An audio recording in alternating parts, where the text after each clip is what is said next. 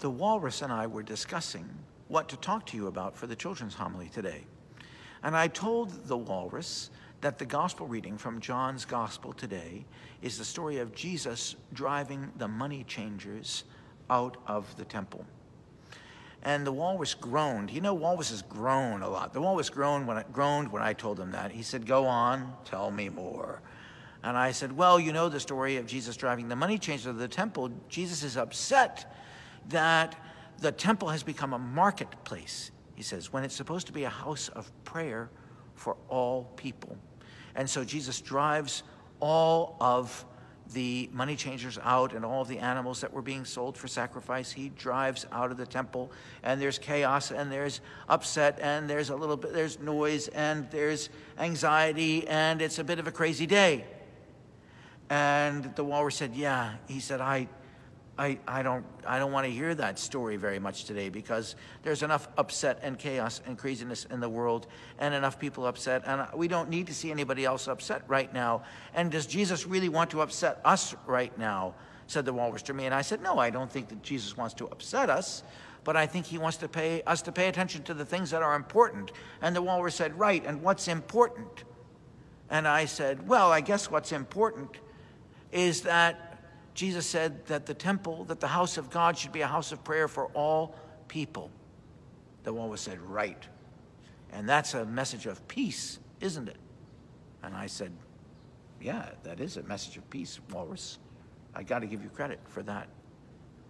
The walrus said, Have you been reading the papers? I said, Yeah, I read the papers. You know that, walrus. He said, Then you know that the Pope has been traveling in Iraq. I said, I know that, walrus. Uh, but it's, he's not our Pope. I said, he's the head of the Roman Catholic Church. And the walrus said, so what? He said, do you know what the Pope has been doing? I said, well, I, he's been talking about the need to protect Christians who have been driven out of the Middle East and who have been persecuted in the Middle East. He said, that's right. And what else has he been talking about? I said, well, I guess he's been talking about peace between Christians and Muslims. The walrus said, that's right. And the walrus said, do you hear any thing in common with what Jesus was teaching, even when he was upset and driving the money changers out of the temple? I said, You mean when Jesus says, My house shall be a house of prayer for all people? The walrus said, That's right. All people. From any religion. There's room for all people in God's house, the walrus said. I said, Well, we're all walrus, that's easy for you to say. You're a walrus. He said, That's right. He said, But look who else is saying it. The Pope is saying it. And the Pope is doing it because he wants people to be at peace with one another, not at war with one another. I said, That's right. That's a pretty good message. The walrus said, You bet that's a good message.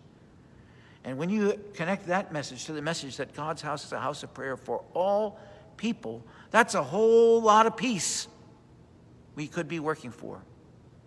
And I said, Well, then it's a good thing Pope Francis is working for peace, isn't it? The walrus said, You bet it's a good thing Pope Francis is working for peace. We should pray for him. And I said, Okay, let's pray for Pope Francis.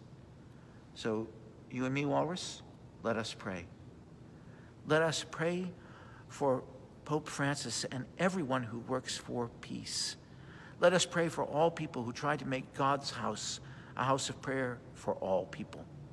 Let us pray for all our brothers and sisters in this world, no matter what religion they belong to, but just because they're brothers and sisters, fellow human beings made in God's image and likeness. Let us learn to respect one another, even when we come from different places and different religions.